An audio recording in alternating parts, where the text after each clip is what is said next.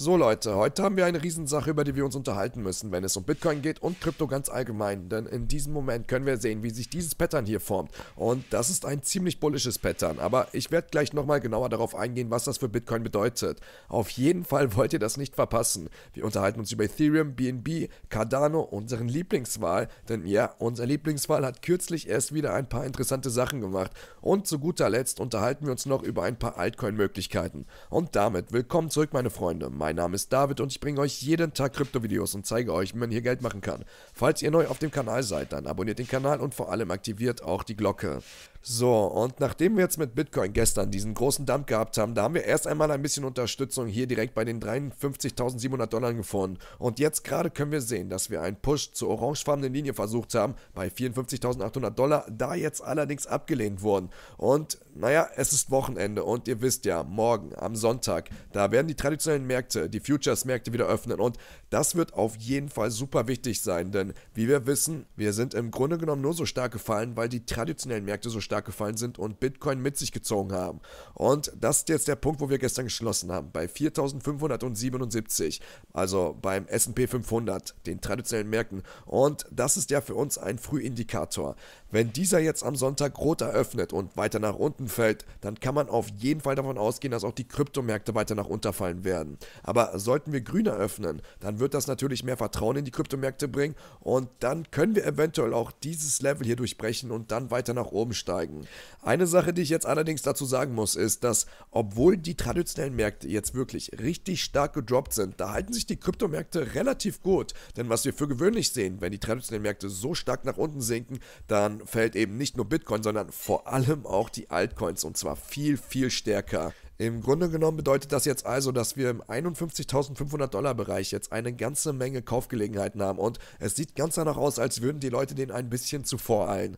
Ich denke jetzt auch immer noch, dass seitdem wir diese blaue Linie überschritten haben, dass wir also ganz allgemein in einem Aufwärtstrend sind. Natürlich immer vorausgesetzt, dass wir keinen kompletten Zusammenbruch bei den traditionellen Märkten haben, wie ich auch schon die ganze Zeit über gesagt habe. Das ist jetzt auf jeden Fall meine Überzeugung und keine Finanzberatung, deshalb setzt nicht alles auf eine Karte, nur weil ich das gerade sage, aber trotzdem Trotzdem, solange die traditionellen Märkte sich ein bisschen abkühlen und eben nicht abstürzen, dann bleibt das auf jeden Fall meine These. Auf dem 4-Stunden-Zeitraum haben wir jetzt auch etwas Interessantes, denn was wir gerade sehen können, ist, dass wir ein Descending Wedge bilden und ein Descending Wedge ist, wie die meisten schon wissen, ein bullisches Pattern. Die Frage ist, wann werden wir aus diesem Pattern ausbrechen? Naja, wir können jetzt noch ein bisschen weiter tucken, aber der Scheitelpunkt, der liegt jetzt irgendwo hier unten. Aber normalerweise brechen diese Pattern schon viel früher aus. Aus diesem Grund würde ich jetzt auch schätzen, dass wir höchstwahrscheinlich innerhalb der nächsten paar Tage ein Breakout aus diesem Pattern sehen. Und ein Falling Wedge ist, wie ich bereits gesagt habe, eher bullisch als bärisch, kann aber natürlich nach oben und nach unten ausbrechen. Aber die Wahrscheinlichkeit ist nun einmal höher, dass wir nach oben ausbrechen und für gewöhnlich sind diese Breakouts sogar ziemlich explosiv. Falls ihr also ein Bitcoin-Trader seid, dann solltet ihr auf jeden Fall auf diese Sache aufpassen. Okay, und bevor wir uns jetzt über Ethereum, BNB und Cardano unterhalten, gibt es noch eine weitere Sache, über die ich mit euch sprechen muss. Denn viele Leute von euch haben sich jetzt den Lux-Algorithmus geholt und haben mich die ganze Zeit gefragt, was ich für Settings habe. Deshalb habe ich mir gedacht, mache ich heute mal ein Video, in dem ich meine Settings zeige und auch erkläre, wie ich den Lux-Algorithmus verwende. So, wenn ich jetzt mal den Lux-Algorithmus einschalte und in die Settings gehe, dann kann man hier sehen, dass ich im Grunde genommen einfach auf Autopilot fahre. Das sind jetzt die Settings, die ich persönlich benutze und ich warte jetzt immer noch darauf, dass wir ein großes Kaufsignal beim Lux-Algorithmus bekommen, denn für gewöhnlich, wenn wir hier ein Kaufsignal bekommen, dann führt das zu einer massiven Preisbewegung. Ich meine, schaut einfach mal hier, der Lux-Algorithmus hat uns an dieser Stelle gesagt, dass wir aussteigen sollten, was ihr natürlich aus meinen Videos schon wisst und je nachdem, wann man ausgestiegen wäre, sagen wir mal in der Mitte, dann hätte uns das trotzdem 15 15% von unserem Bitcoin gerettet. Bevor wir jetzt allerdings dieses Verkaufssignal hatten, hatten wir noch ein paar andere Signale und ich will euch jetzt mal erklären, wie ich das Ganze benutze. Also, das hier unten war das Kaufsignal bei 43.000 Dollar und ich weiß, viele Leute von euch sind bei diesem Kaufsignal eingestiegen und haben dann ihre Bitcoin bis nach ganz oben zu 64.000 beim nächsten Verkaufssignal gehalten. Das war also ein wirklich riesiges Signal. Was wir dann auch noch hatten, das war ein Kaufsignal bei 47, 48.000 und dann dieses Verkaufssignal. Das bedeutet, wenn man bei diesem Kaufsignal eingestiegen wäre, dann wäre man mit einem Break even ausgestiegen. Also wenn man einfach gekauft und verkauft hätte.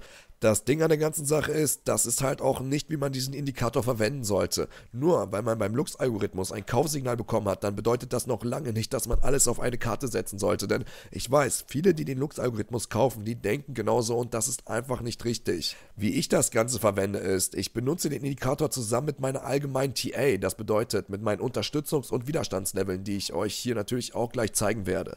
Was man jetzt auf jeden Fall hier sehen kann, ist, dass wir hier auch ein Verkaufssignal bekommen haben, was ein gutes Verkaufssignal Signal gewesen ist, weil wir dann einfach 15% gerettet hätten und dann könnte man wieder einsteigen.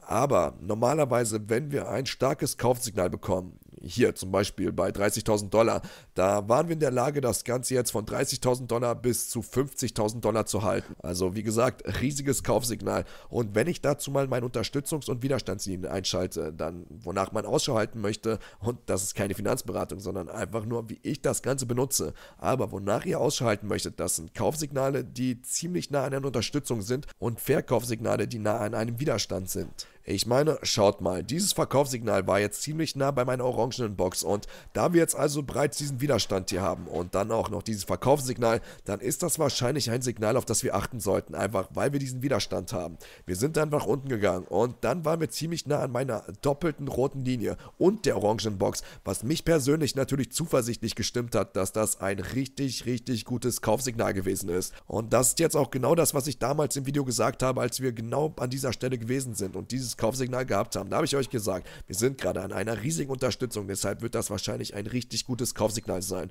Und dann konnten wir einsteigen und das bis zum nächsten Verkaufssignal mitnehmen, was hier, wie ihr sehen könnt, direkt an meiner Widerstandslinie gewesen ist. Also, wir haben dieses Verkaufssignal gehabt nach einem massiven Anstieg und in meine orangefarbene Box hier rein. Also, wie gesagt, das war höchstwahrscheinlich eine richtig gute Gelegenheit, um Gewinne mitzunehmen, einfach weil wir an riesigen Widerstand gewesen sind.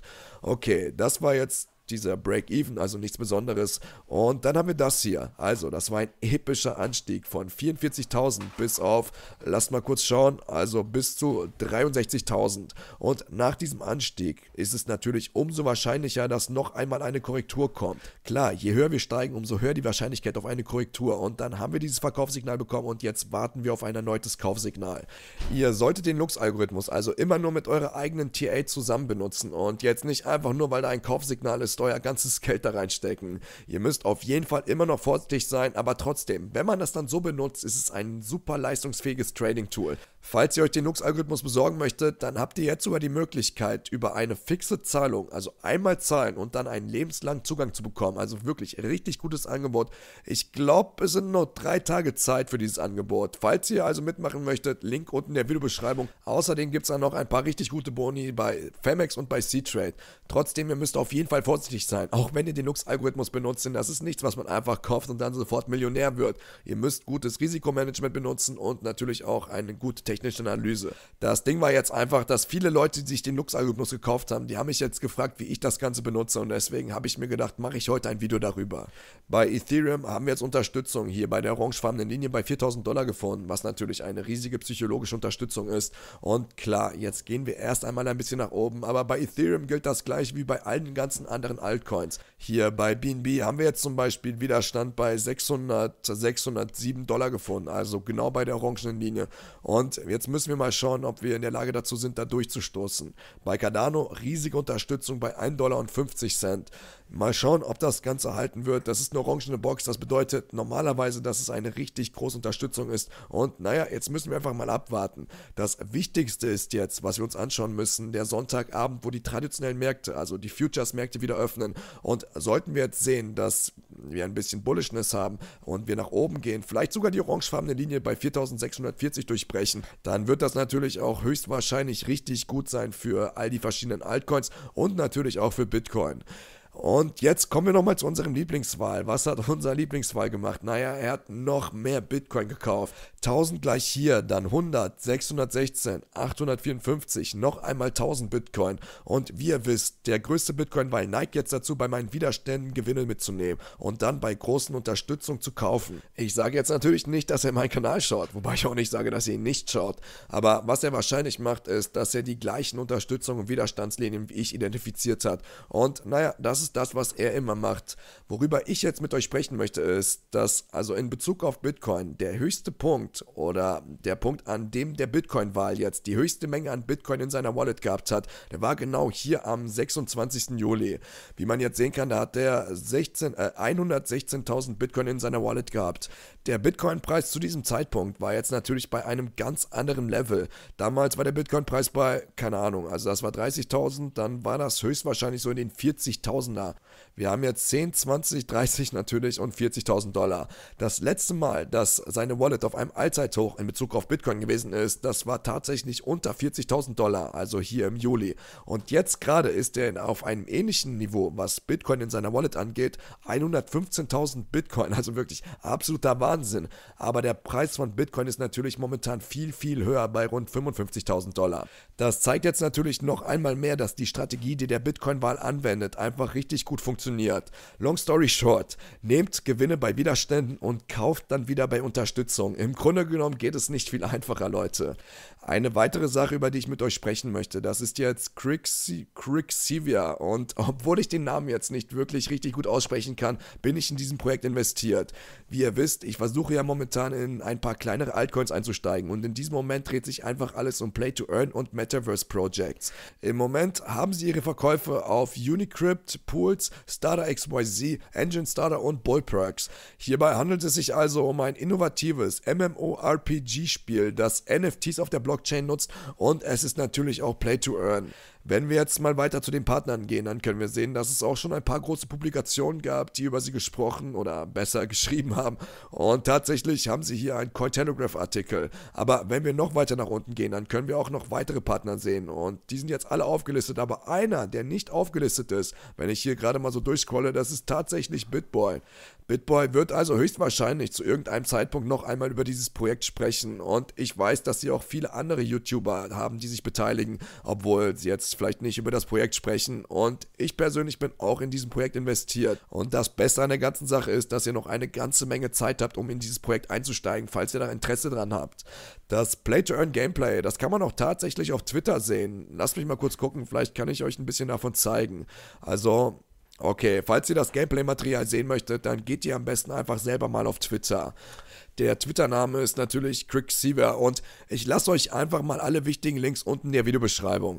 Damit sind wir dann auch schon am Ende des Videos angelangt. Wie immer, falls euch das Video gefallen hat, freue ich mich über einen Kommentar, über ein Like und wenn ihr das Video mit euren Freunden teilt. In diesem Sinne, vielen Dank fürs Einschalten und wir sehen uns im nächsten Video.